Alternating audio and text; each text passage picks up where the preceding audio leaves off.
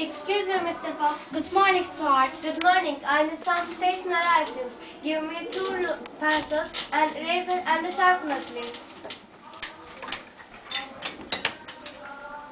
Here you are. How much? Let me see. Pencils are one pound, the razor is 30 pence, the, and the sharpener is 54 pence.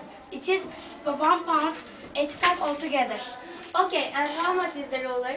It is it is 65 pence. What about five folder?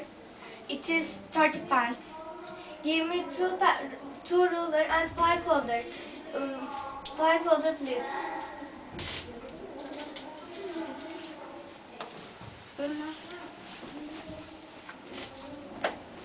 It is uh, it is three pound.